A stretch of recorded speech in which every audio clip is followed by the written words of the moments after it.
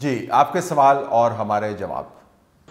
तलत भाई, ये कुछ आडियोज़ वगैरह जो इमरान खान की सर्कुलेट कर रही हैं। आपने भी इसके ऊपर अपना किया था स्टेज किया था, और उसमें आपने कहा था कि आप इस चीज़ के ऊपर पसंद नहीं करते बात करना। ज़ाहिर सी बात है, कोई बंदा भी पसंद नहीं करता बात करना, लेकिन अगर कोई बंदा हमें ये कहे कि पिछले 20-22 सालों से मेरी ट्रेनिंग हो रही है, कि इस तरह से अपने आप को पोर्ट्रे करे तो जिस तरह से वो इतना पाकिज़ है या पाकबाज इंसान है तो क्या आ, उसकी इन चीज़ों के ऊपर डिस्कशन नहीं होनी चाहिए कि ऐसा कुछ भी नहीं है वो भी एक आम इंसान है और वो भी एक आम इंसान की तरह गलतियाँ कर सकता है। कोई बात नहीं होती होंगी यार की पर्सनल लाइफ होती लेकिन कोई अपने आप को अगर अबाव समझे नॉर्मल लोगों से और अपने आप को ऐसे पोर्ट्रे करे तो क्या उसके ऊपर ऐसी चीज़ें डिस्कस नहीं होनी चाहिए? देखिए जी सवाल तो आपका बड़ा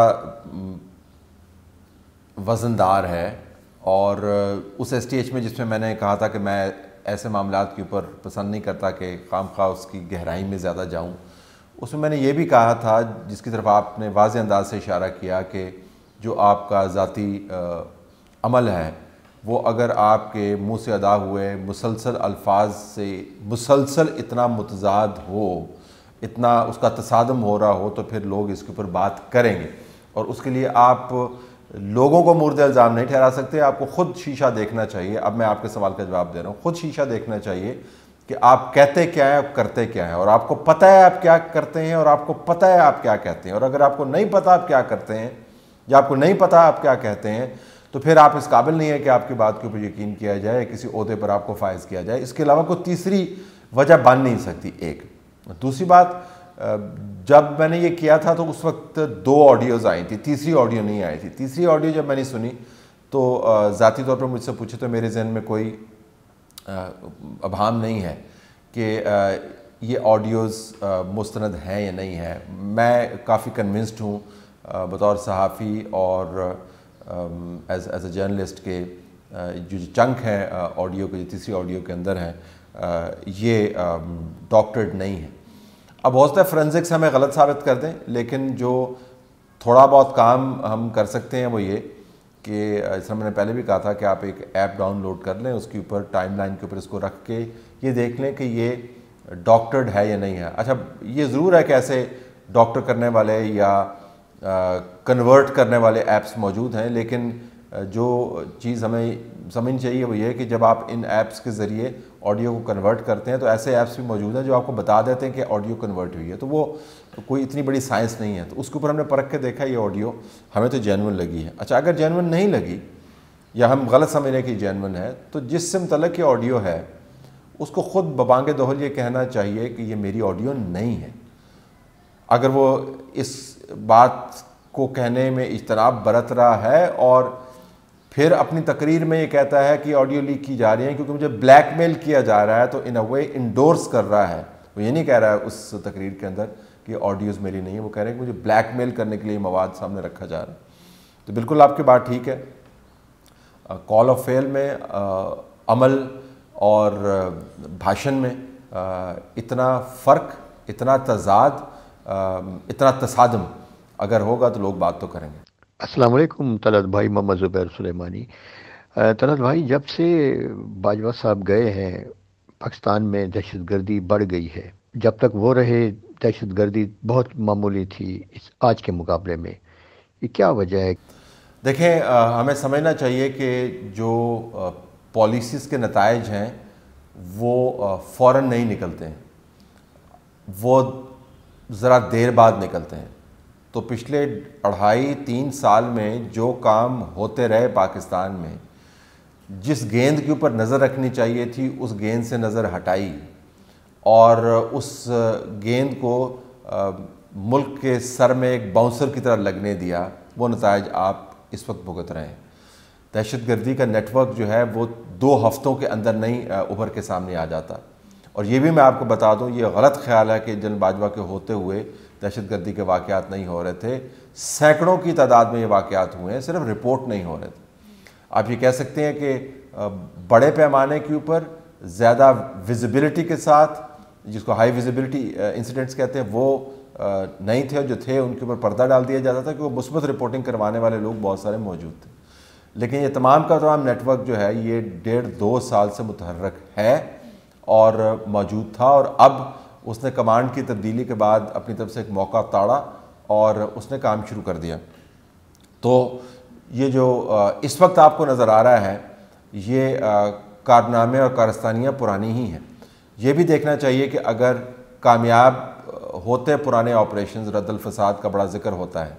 तो रद्दल फसाद के ऊपर कितना काम हुआ और हकीकी नतज इसको क्या है तो आज ये काम ना हो रहा होता।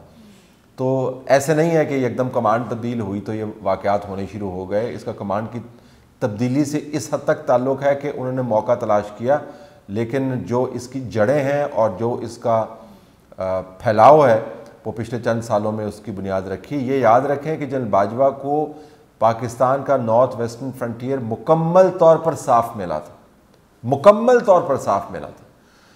जनरल इशफाक परवेज़ कियानी के दिनों में जो बेशबहा कुर्बानियाँ देकर कीमती खून बहने के बाद हज़ारों लाखों करोड़ों अरबों का प्रेशस मवाद लगाने के बाद हमने जो जो स्टेबिलिटी हासिल की थी, उसका फिर आखिरी जो कल्मिनेशन पॉइंट था वो राहील शरीफ के दिनों में हुआ था।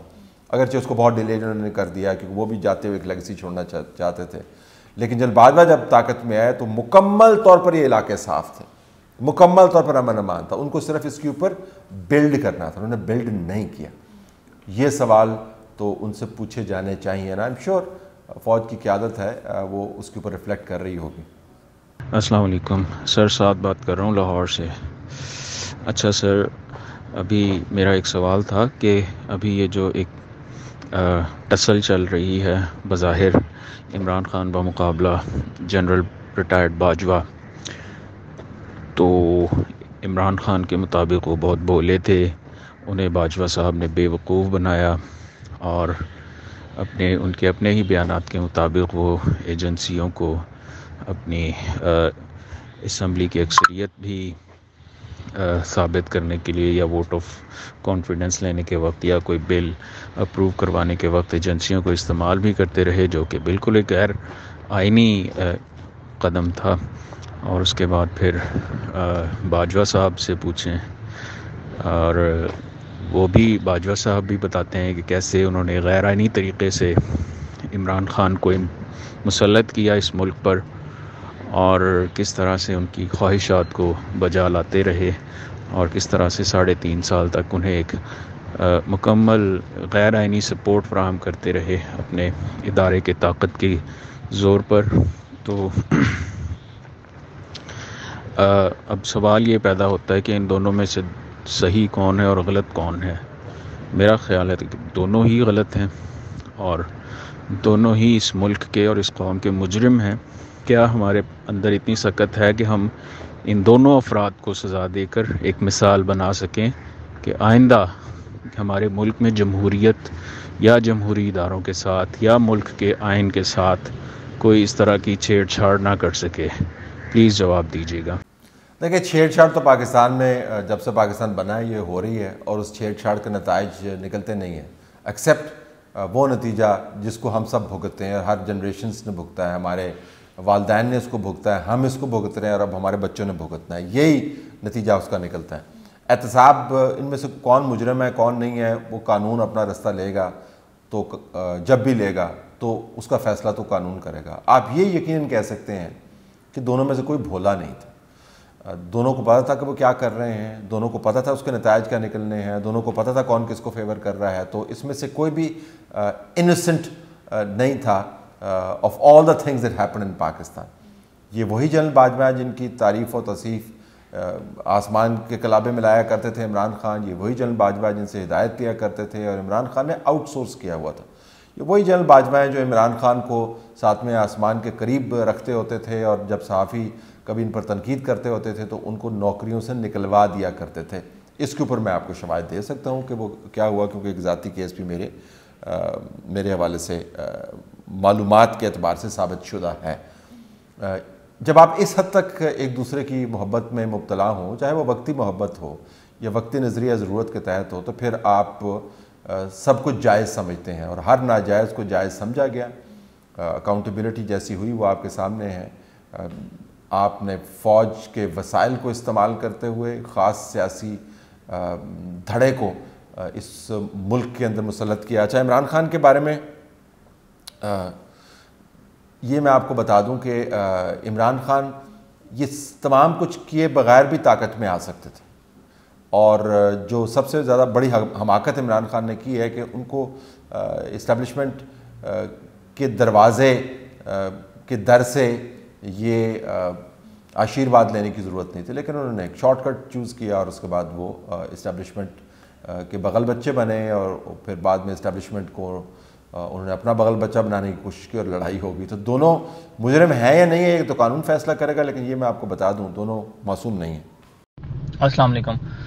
साहब मेरा आपसे सवाल है कि आप शहबाज शरीफ की परफॉर्मेंस को किस तरह जज करेंगे as compare to Imran Khan की?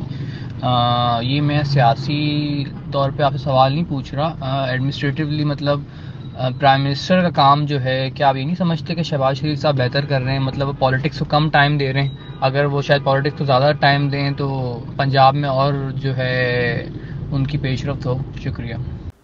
देखें दोनों को कंपेयर करना मुनासिब नहीं होगा। इमरान खान के पास मवाफ़ हुकूमतें थीं महासभा सिंध के।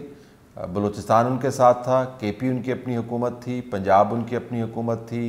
मरकज़ उनके पास मौजूद था, सदर उनका अपना था, स्पीकर अपना था, डेप्टी स्पीकर अपना था, सेनेट चेयरमैन उनका अपना था आर्मी चीफ उनका अपना था डी जी आई आई उनका अपना था। तो उनके बहुत सारे अपने थे। अगर आप शहबाज शरीफ के साथ मुवजना करें तो कोलिशन गवर्नमेंट है जो, जिसको हर वक्त धड़का लगा हुआ है कि अब मैंने कोई बात की तो मेरे चार बंदे जो हैं इधर उधर हो जाएँगे तो मैं फारिग हो जाऊँगा। पंजाब के अंदर उनकी पहुँच है नहीं। के पी से उनको हर वक्त हमले का ख़तरा रहता है और बकौल उनके अपने नकादों के वो सताईस किलोमीटर तक महदूद हैं। तो मेरे ख्याल में दोनों का कंपेरिजन बनता नहीं है। शहबाज शरीफ की परफॉर्मेंस को इंडिपेंडेंटली आप असेस करें तो मैं तो मेरे ख्याल में दस में से चार नंबर दूँगा उनको। आ, मेरा ख्याल है कि वो बहुत सारी जगहों पर ज़्यादा इनिशिएटिव ले सकते थे। मीशत को संभालने के लिए जो हैंड्स ऑन अप्रोच चाहिए थी वो उन्होंने नहीं दिखाई, वक्त के ऊपर फैसले नहीं किए, टफ़ फैसले करने से वो गुरेज करते रहे। लिहाजा इस वक्त वो मुआशी तौर पर अपने आप को हसार में लिए हुए हैं, अपने ही फैसलों के नतज के ज़रिए। सिमिलरली जो रिफॉर्म है, उसके ऊपर फोकस नहीं है। नेशनल सिक्योरिटी कमेटी का इजलास वो नहीं बुलवाते, जहाँ पर बैठ के बड़े बड़े फैसले होने हैं खारजा पॉलिसी के हवाले से। तो कोलिशन हुकूमत के अपने चैलेंजेस होते हैं, लेकिन मेरे ख्याल में वो काफ़ी बेहतर कर सकते थे और फिर कॉन्स्टेंटली कौम से खिताब अहम मामला पर ना करना और उन मामला पर करना जिसके अंदर अपनी ज़ात इन्वॉल्व है। मेरे ख्याल में कम्युनिकेशन स्ट्रेटजी भी उनकी वाजबी सी है। तो अगर आप मुझसे पूछें तो दस में से चार नंबर उनको मिलते हैं। इमरान खान के जो एडवांटेजेस थे, उनके पेश नज़र अगर दस में से मुझसे नंबर मांगेंगे तो मैं नंबर सही बताऊँगा, फिर लोग मेरे पीछे पड़ जाएँगे, लेकिन आपको पता है मैंने इनको कितने नंबर देने हैं।